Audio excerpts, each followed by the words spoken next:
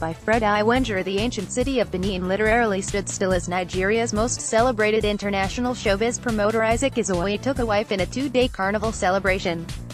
The German-based Nigerian promoter popularly called cultural ambassador because he has won several awards to that effect having founded Nollywood Europe Golden Awards NEGA had carefully planned a two-day jamboree which was witnessed by several dignitaries from Nigeria, US, Europe and Asia.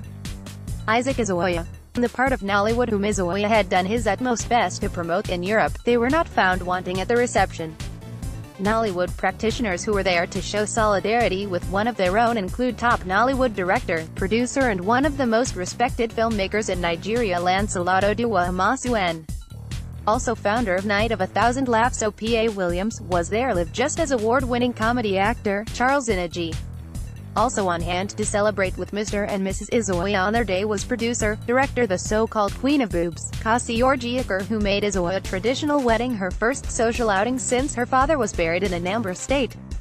Others were Queen Blessing Ebegeson, Festus Sarah Moselle of G Worldwide Entertainment. Chief Mike Itua, the Edohe of Opoji was chairman and flew from German to do that distinguished job.